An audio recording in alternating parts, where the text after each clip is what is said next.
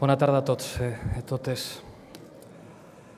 Muchísimas gracias por darme, por darme este honor.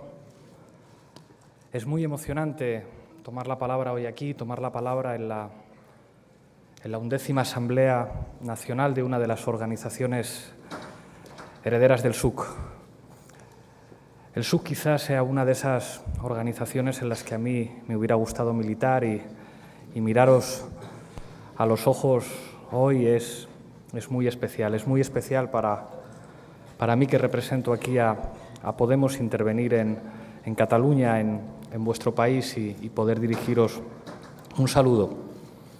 Se han construido en, en los últimos meses algunas complicidades muy especiales entre, entre nosotros y, y no terminaría de citar nombres, Laia, Vendrell, David, Coscu, pero quiero quiero detenerme en dos que se han convertido en, en referentes muy especiales para mí y, que, hablar de ellos es, hablar de iniciativa. En primer, lugar, en primer lugar, Joan Herrera.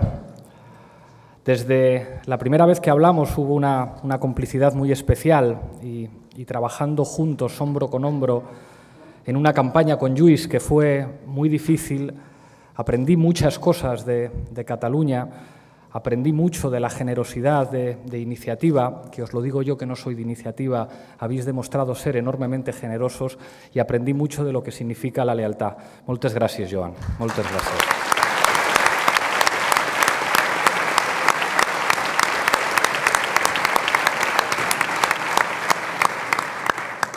La otra persona es Ernest, al que, al que no sé decir que no, ha sido más que un maestro y, más que un amigo en, en, Bruselas y quiero, y quiero pediros una complicidad. He leído una entrevista suya hace poco que me ha gustado regular. Ha dicho que, que su intención es seguir en Europa los próximos ocho años o, o una locura de este estilo. Os pido ayuda porque si quizá las circunstancias en, en los próximos tiempos requieran del concurso de sus modestos esfuerzos, creo que Ernest deberá estar allí donde sus compañeros le digan que deba estar.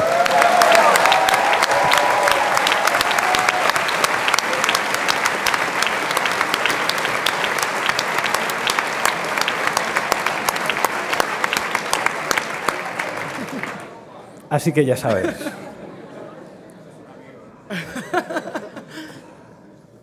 Estado esta mañana en, en un encuentro de los, de los, círculos de Podem y, y, les he dicho lo mismo que voy a decir aquí. Es muy bonito ver desde la distancia el, el proceso político que se está dando en, en Cataluña de construcción de, de, un espacio político que yo creo que ya existe en, en la conciencia de, de los catalanes. A mí no me toca decidir nada sobre ese proceso y, y lo miro desde la distancia con muchísima ilusión sí os transmito una, una reflexión. Creo que en ese proceso de construcción de un espacio político catalán hace falta que el ADN de todas las organizaciones políticas, de todas las culturas que están trabajando juntas, siga existiendo. Y creo que hace falta que todas las organizaciones, que Podem, que los comunes, que EUIA y por supuesto también que Iniciativa per Cataluña siga existiendo para, para construir ese nuevo espacio. Hoy es un honor para mí intervenir antes que, Mónica y que, y que Ada, pero hay una tristeza en todo ello. Una tristeza por mi parte. Es precioso ver a, a una vicepresidenta y ver a una alcaldesa intervenir. Ojalá hoy aquí yo pudiera deciros que hay un gobierno progresista, plural y de coalición en España.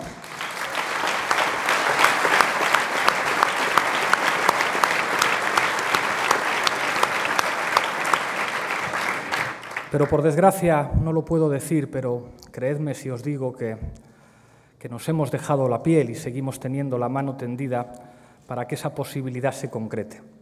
Y creo que hemos hecho algo que tiene mucho que ver con, con quizá lo que más me atraiga a mí de la historia del SUC. Hablaba Joan de, del espíritu de unidad. A mí como, como español, cuando miraba a Cataluña y miraba la historia del SUC, a mí había algo que me enamoraba de ese partido y es que nunca se vio a sí mismo como un partido subalterno. Creo que nosotros y nosotras, trabajando todos juntos, hemos demostrado en los últimos años que se puede construir una política diferente en Cataluña y en España, mirando con dignidad, sin una posición de subalternidad, para decir que estamos de acuerdo y estamos dispuestos a gobernar con otros, pero nunca más como fuerzas políticas subalternas.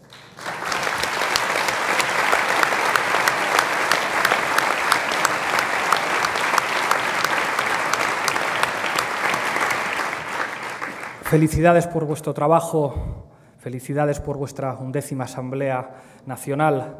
Será un honor, será un orgullo y un placer seguir caminando juntos. Muchísimas gracias, moltes gracias, compáis y compañeros.